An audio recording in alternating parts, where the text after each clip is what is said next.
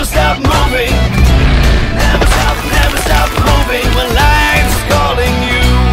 මහින්ද රාජපක්ෂ මැත්තුමා සංවර්ධන ව්‍යාපෘතියක් කරානම් ඒව සුදුවලි කියල මේ ආණ්ඩුව පෙන්න්න සූදානන්. හම්බන්තොට වරාය හදනකොට සුදුවලියෙක් කියල පෙන්න්න ඇද.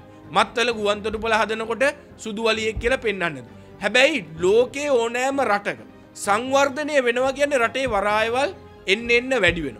ගුවන්තොට පොලවල් එන්න එන්න වැඩි වෙන. අයිවේ හැදෙනවා පාරවල්ටික හැදෙනවා.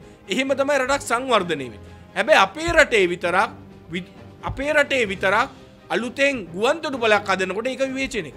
හැබැ අපි දැක්කා ගිය අවුරුද්දේ මත් ගිය අවුරුද්ධ තුළ විතරක් ගුවන්තොටුපල කටුනායක ගුවන්තොටුපල වහනකොට අන්තිමට මාසතුනක් යනකං ගුවන් යානාටික යවන්න උනේ මත්තලට.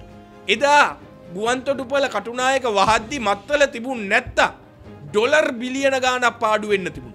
රටේ සංචාරක ව්‍යාපාරය සම්පූර්ණයම විනාශ වෙන්න තිබුණ.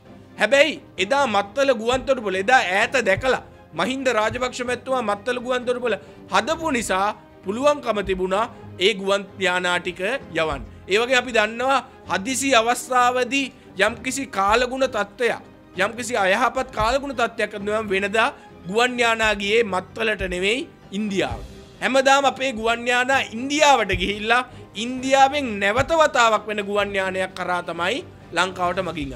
හැබැ අපි ඊයදිනේ දැක්ක අයහපත් කාලගුණ එනකොට දැන් මත්තලට තමයි ගුවන්යානා හතරක්ගි.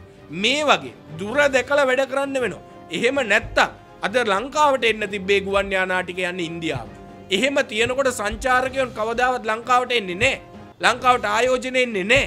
ඒ නිසා තමයි මෙවැනි ගුවන්තොඩු පලවල් මෙවැනි වරායවල් මහින්ද රාජපක්ෂ මැත්තුම හැදුවේ ඒවයි ප්‍රතිඵල අද වෙද්දී අපිට දකින්න ලැබෙන.